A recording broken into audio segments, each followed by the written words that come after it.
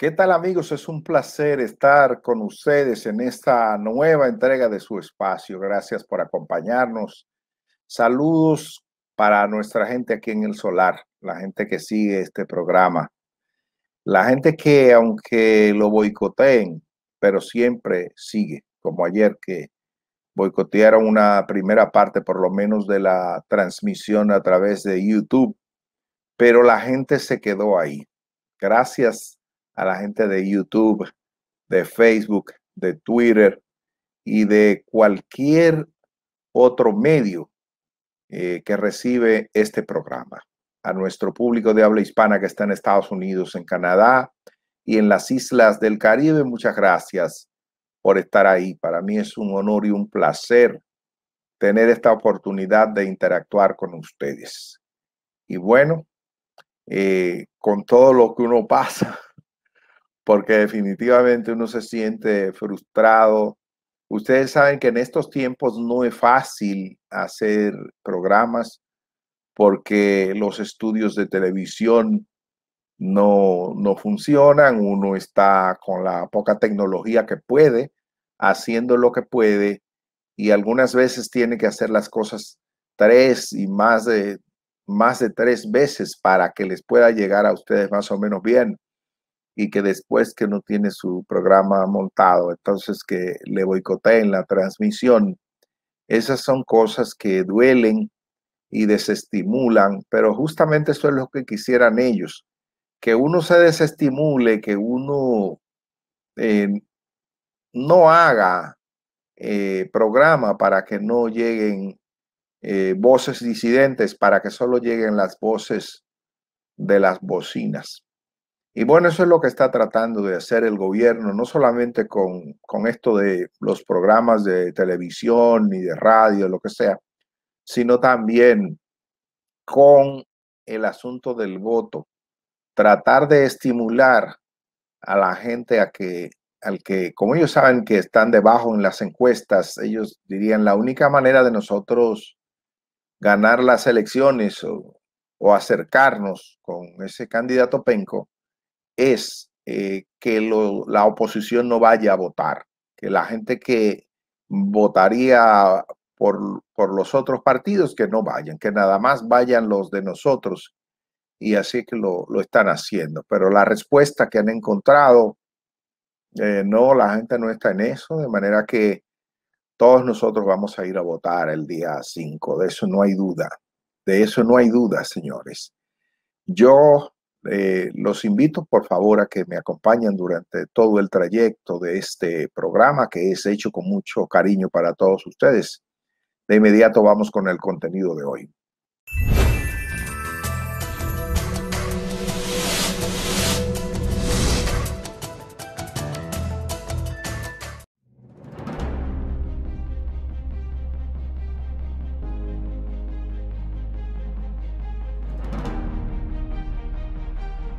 Excelentísimo señor presidente de la República, licenciado Danilo Medina.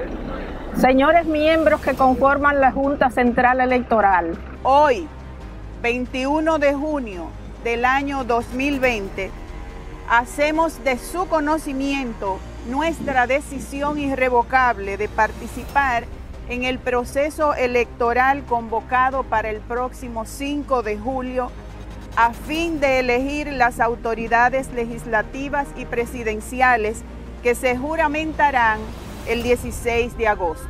Al ser elegidos, ellos estarán llamados a la noble tarea de dirigir los destinos de nuestro país por los próximos cuatro años, como proclama, ordena y manda la Constitución. Estamos conscientes de que el derecho a elegir nuestro gobernante es la única garantía para vivir en una sociedad democrática.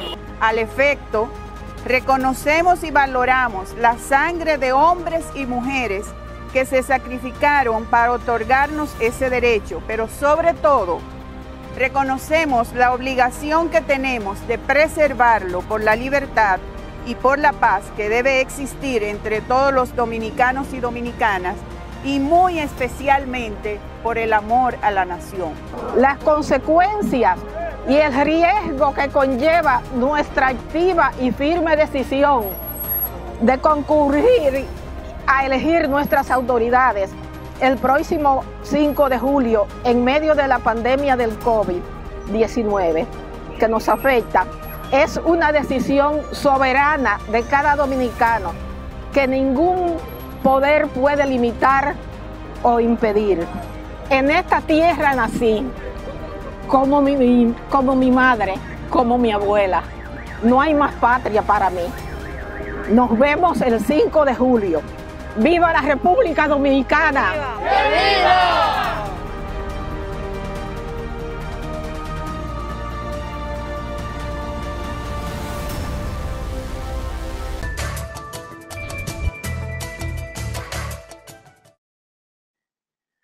Bueno, con ese manifiesto que se leyó allí, aunque lo leyeron dos mujeres, solamente dos mujeres, no lo leyó el país entero. Pero eso que esas dos mujeres leyeron ahí es el sentir de este pueblo. Es el sentir, pero no solamente un sentir vacío, no, no, no. Es que así nos vamos a comportar es un derecho al que no vamos a renunciar.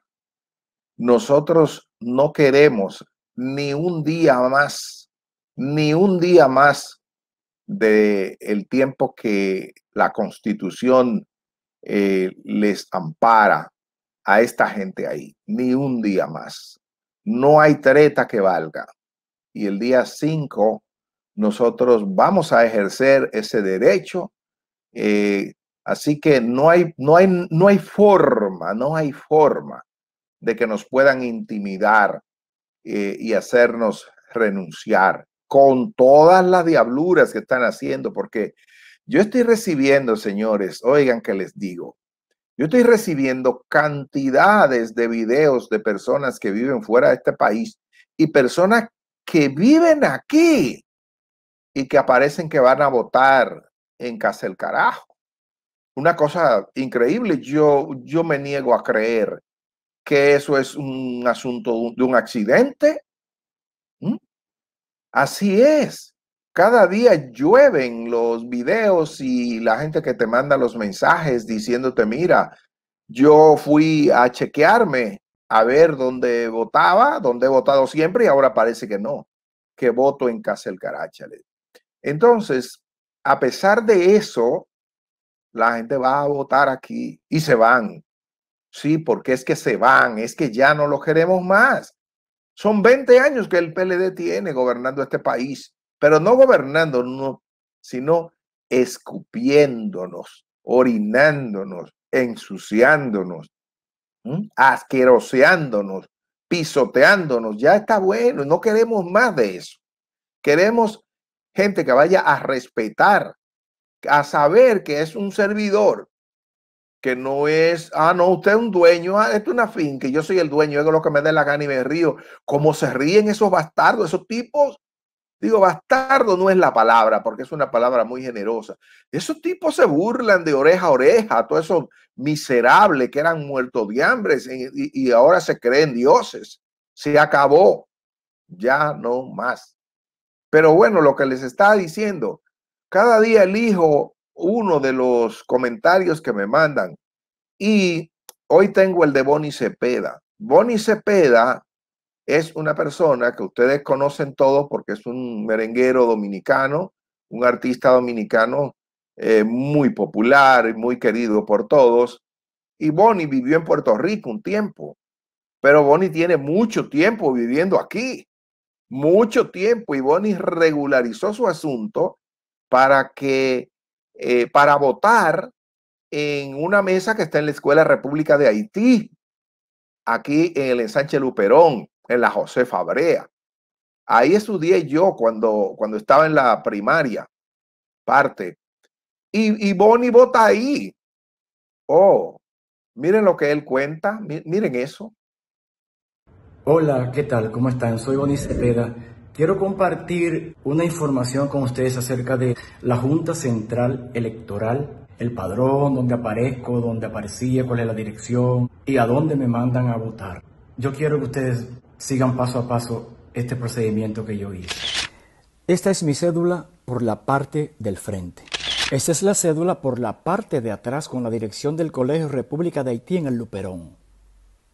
De inmediato fui a Google y puse la siguiente dirección, Junta Central Electoral. Me llevó al siguiente link, donde votar el 5 de julio del 2020.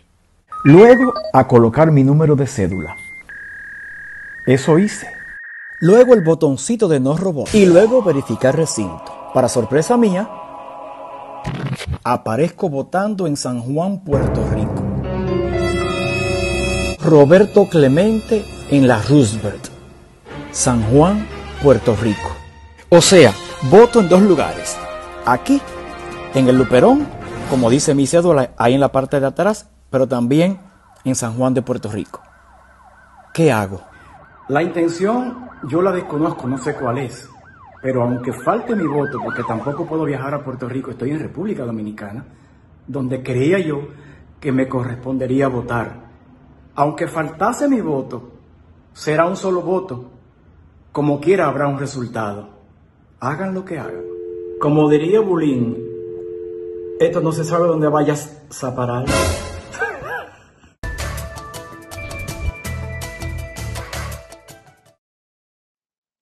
¿Ustedes creen que eso es eh, que eso es justo? Porque es increíble, porque lo que Bonnie cuenta ahí es más grave aún. Es que él, que él, eh, su cédula dice que él vota aquí en la Escuela República de Haití, en la Josefa Brea, dice su cédula, y sin embargo, cuando él entra a la Junta, le dicen que no, que él vota en Puerto Rico. Usted se imagina lo que eso es. Pero miren ese tweet, miren ese, ese tweet de Miguel Báez. ¿Qué dice Miguel Báez? Dice, esto es un crimen. Tengo 20 años viviendo en la ciudad de Boston.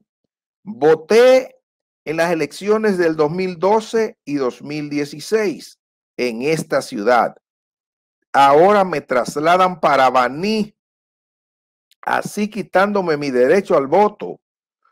Como viajo, ¿cómo viajo a ejercer mi derecho con esta pandemia? Dice Miguel Báez. ¿Eh? Entonces, eso es algo que se puede decir que sea una cuestión fortuita. No, yo, yo no creo que, que eso sea fortuito. Ahora, pueden hacer lo que hagan. Oigan que se lo digo. Pueden hacer lo que hagan y se van. Se van. Se van. Porque es que mayoritariamente, mayoritariamente, la gente no lo quiere. No lo queremos por lo que han hecho. No los queremos. Digo, los queremos, pero en la cárcel, comenzando por el candidato. Porque ese candidato, siempre lo he dicho, muy buen candidato para presidiario, no para presidente. Y a propósito de eso, de, del candidato para presidiario y no para presidente, ustedes recuerdan que les dije que de alguna manera el gobierno iba a tratar de inhabilitar a la justicia hasta que llegaran las elecciones para que el penco no fuera a los tribunales para que no fuera a los tribunales a testificar en el caso de los miles de millones de pesos que él firmó de grado a grado y en violación de la ley para asfalto y hace 30, y que en mi caso intentaron arrebatarme la posibilidad de sentarlo allí como testigo y no pudieron. Entonces, imagínense a Gonzalo frente a mis abogados, siendo interrogado como testigo, con la prensa ahí, no como ellos intentaron hacer un juicio clandestino. ¿eh? ¿Cómo este tipo va a responder eso? Pero miren ese titular. Miren ese titular que sale ayer en la prensa. Ah, ese titular dice que los plazos procesales en la justicia se reanudarán a partir del día 6 de julio. ¿Qué día son las elecciones? El 5. ¿Mm? El 5. Ustedes saben que Gonzalo Castillo, Maybet Rodríguez, la hermana del Procurador General de la República, Jean Alain Rodríguez, y Jean Alain Rodríguez van a tener que sentarse como testigos en el caso mío, que esa gente abusó de mí de la manera más arbitraria y cobarde que se puede. Danilo Medina lo acuso de ser el principal, el principal responsable de ese abuso. Y él, con su peón de Jean Alain Rodríguez, eh, fueron los que tramaron todo, todo, porque lo que pretendían era callarme la boca y que no hablara de las desgracias que hizo el penco en obras públicas. Y de paso, no quería el Procurador General de la República que saliera a relucir que su hermanita, Maybet, firmó contratos en violación de la ley representando al grupo Asinra. ¿Qué es el grupo Asinra? Una empresa que fue beneficiada con cientos y cientos de millones de pesos del, de obras públicas eh, grado a grado y de OISOE y que financió parte de la campaña de reelección de Danilo Medina y que Gonzalo entendía que él podía violar la ley de compras y contrataciones y todo para darle a Sinra los contratos que le diera la gana sin tener que cumplir ningún procedimiento. Entonces, cuando yo presenté esos contratos, ¿qué fue lo que hizo el gobierno? Me echó todos sus poderes de manera abusiva y arbitraria, me los echó encima y me llevó a la justicia y me levantó una campaña rastrera donde me imputaban con unos abogados que, que alguna vez la sociedad tendrá que valorar en su justa dimensión que se prestaron para tratar de desmoralizarme diciendo que yo era un mentiroso. Lo último que dijeron fue que yo tenía miedo ir a los tribunales. Cuando los que han tenido miedo ir a los tribunales, comenzando incluso por sus propios abogados, fueron ellos, porque el penco corriendo, corriendo a ir al tribunal. Jean Alain Rodríguez corriendo a ir al tribunal. Maybet Rodríguez corriendo a ir al tribunal. Y los abogados titulares de ellos fueron a última hora ya. Yo, quien les habla a ustedes, no ha habido una sola audiencia a la que yo no haya asistido. Incluso a la audiencia conciliatoria yo no estaba obligado a ir, pero yo fui. Porque el que dice la verdad, el que dice la cosa como es, no tiene por qué huirle ni a la justicia, ni a tribunales, ni a nadie. Pero esta gente sí. Y eso es lo que ha hecho, correrle. Y miren eso, qué coincidencia que el día 6, un día después de las elecciones, ah, se reanudan los plazos en la justicia. ¿Eh? El día 6 tenemos eh, instituciones, empresas y eso trabajando trabajando que son mucho más riesgosas que la justicia. Y la justicia cerrada, bloqueada totalmente. Bueno, no quieren ver al penco sentado ahí. Porque oigan que se lo digo, el penco no resiste, no resiste un interrogatorio, no lo resiste un interrogatorio como testigo en ese caso.